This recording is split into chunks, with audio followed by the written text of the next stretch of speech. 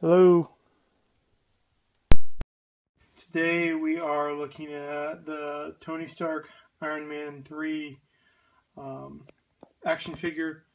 This is the one from uh, Iron Man 3.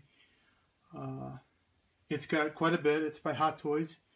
Um, I went on YouTube and I was amazed at it's not like other Hot Toys. It's got quite a few accessories. So much so that these guys have built labs. So I'm going to show you how I built my lab and then we'll start, uh, we'll get into the uh, actual uh, figure and putting it together and um, putting things up in the lab. Here's a few things you're going to need. So this is my lab.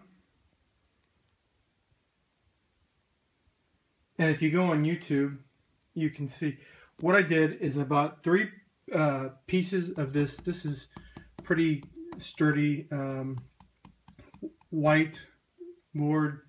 Um, I bought double-sided tape, uh, an X-Acto knife, and it says you're going to need uh, three AA batteries. So I bought a pack of AA batteries. Um,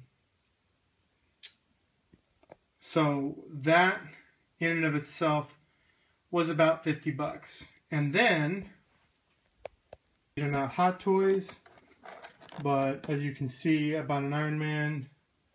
And then this is a Toys R Us exclusive. It's got Quicksilver, and it's got two Iron Men with all kinds of stuff. So, um, they will go in the background of this. As you can see, there's an entrance. It's not real fancy. Uh, this is sturdy. This can be moved around however I like. Um, so, anyways, let's get to it and see how it comes out. Because what these other guys did was amazing. So, mine's, you know, I'm not a crafty person. so, we'll see. So, here it is. It's big. Um, sold me like a brand new one. And I'm not going to say the price of this because he gave me a good deal. Um, but this is going to be like putting that Batman armory together. So here it is. It's finished. The arc reactor. First, let's take a look. Uh, those two dolls in the back are not Hot Toys. Um, but they make, I think, pretty good props.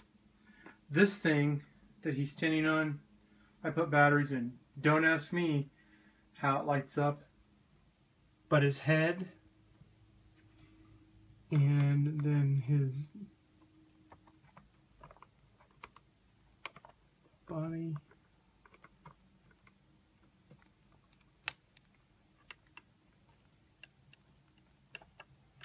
See his blue light comes on. So anyways. He's on a stand and every piece of this had to be put together with a pretty cool cardboard base. The hands and the head are both removable. I want you to see this piece of machinery works. Um, the little uh, hook, I'm not quite sure how to work it, but it comes with it. And then he's got a workbench and you can see that the parts interchange. The head interchanges, um, the hands interchange. Uh, there's maps, detailed maps of how he built it, uh, his little tools, um, the HT for Hot Toys with him as Man of the Year, and then more underneath. So, uh, there are other ones on YouTube that are better, but you know, for someone that doesn't really know how to make anything, I think I did a pretty damn good job. And this takes about an hour to put together. And that's not uh, building, and I may put something up on the walls. I don't know yet. They look kind of bare.